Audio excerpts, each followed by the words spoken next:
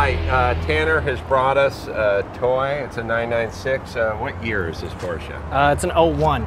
So this, I mean, this is like the 996 is the car that Yeah. the purest Porsche guys really dislike because it's the first water cooled. They made a bunch Right. of them. This is the turbo. They're really kind of inexpensive Yeah. to buy. You know, They're, I, I don't know about the non-turbo, the turbo ones, but the non-turbo ones, the engines weren't great, so the cars lost their value because the cost to replace the engine was was so much money.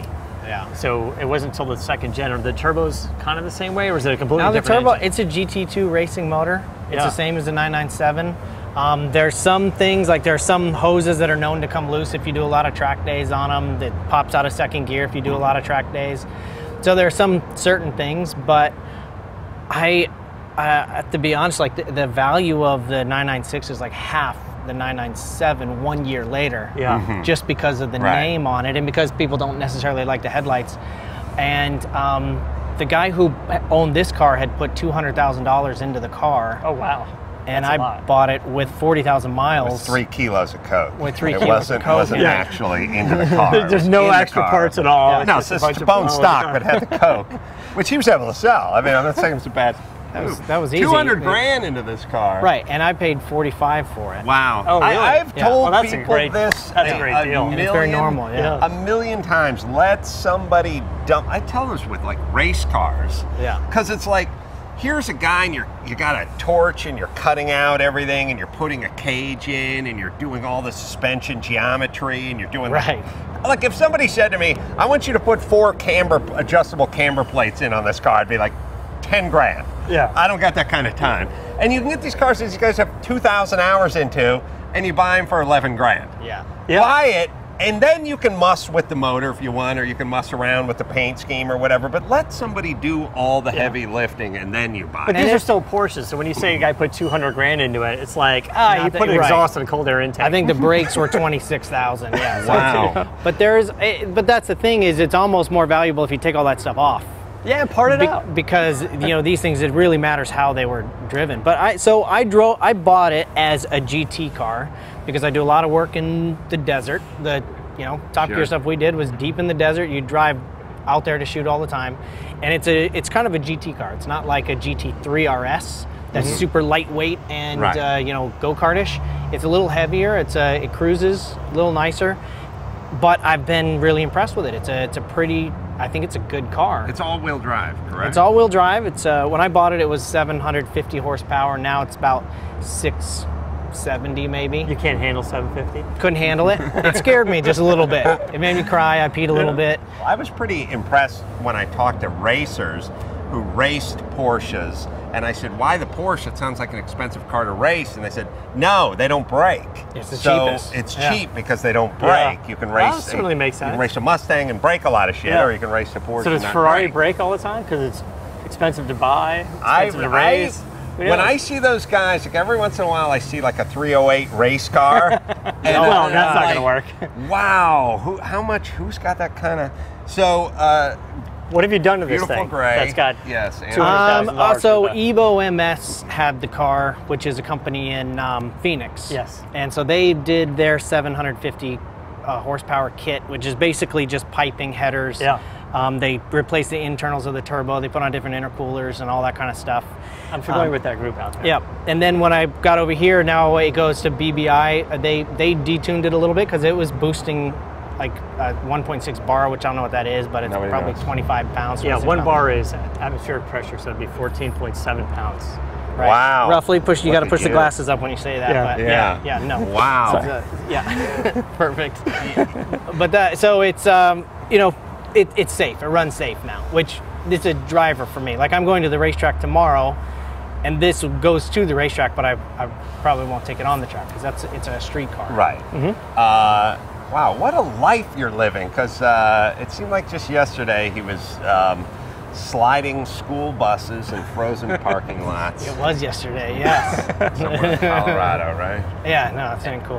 and uh, now just making a living and th- living the dream because you know, the whole Hot Wheels thing is amazing, but uh, Top Gear is amazing. It's doing the stunt driving is amazing, and The rally doing cross, rally you're- cross, you're is kicking ass out there. The X Games stuff. I mean, it's just I've been really lucky. R- Getting involved with Rockstar was good because they're sort of this company that if you say it's cool, then okay, we'll go do it. Right. Oh, They've never heard of rallycross, and I was like, look, I want to go to Europe. It's going to cost all this crazy money to go do this sport.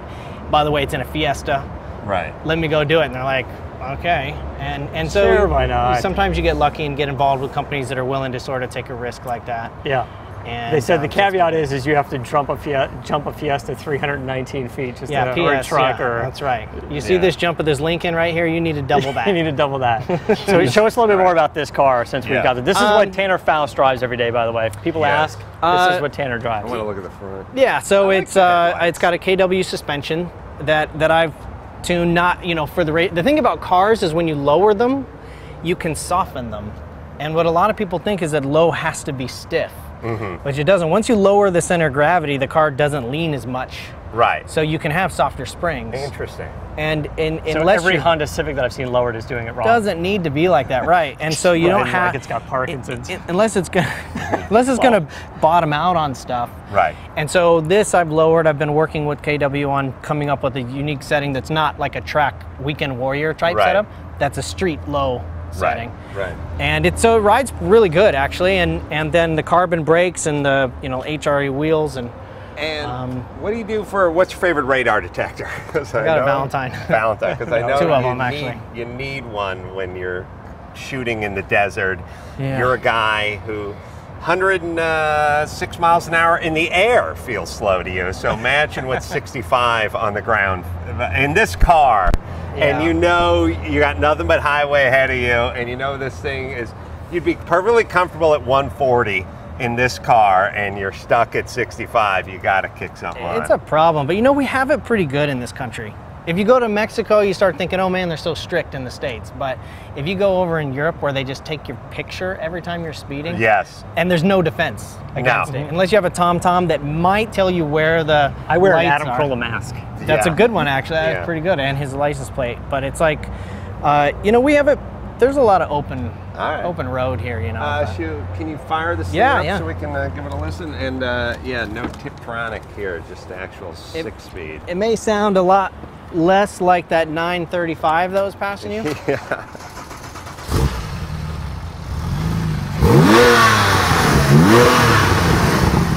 But it's got, it's like that same, uh, same Porsche sound, you know, which is. Yes.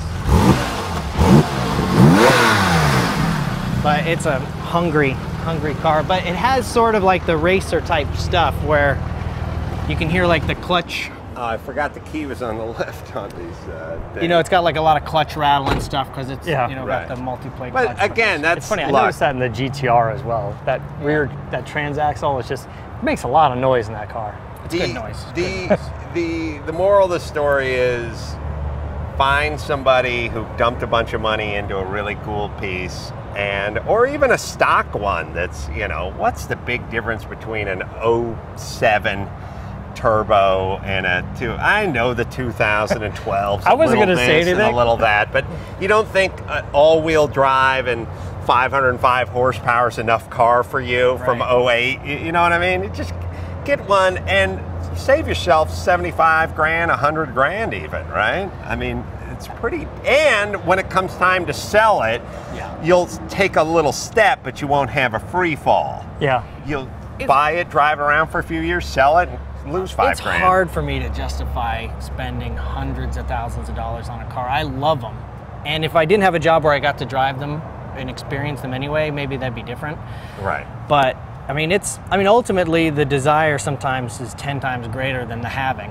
yeah And if you can find a couple cars that when you own them, you just you can't wait to drive them every day, then I mean, I can drive those for 100,000 miles. I still have my same M3 uh, that, you know, I've had since it was new and it has 100,000 miles on it and it's just a good car. i'm going to uh, resurrect my it's an E46. Yeah, he has It doesn't have the supercharger like Yours yours. is yeah an E46. but it's the same we have the same color car don't we Yeah, it's like carbon, it's like dark blue. It's called dark carbon blue. black or something, black, but it's dark blue. All right. Yeah. So Uh, thank you so much, Tanner, for bringing Yeah, uh, your absolutely. 996 out. TannerFoust.com is where we go find out all the information. Of He's on Facebook. He's on Twitter. Gear, They're all linked from Tanner Channel. Foust. Yep. And uh, until next time, it's Adam Carolla for Matt, DeAndrea, Tanner Foust saying, keep the air in the spare and the bag in the wheel.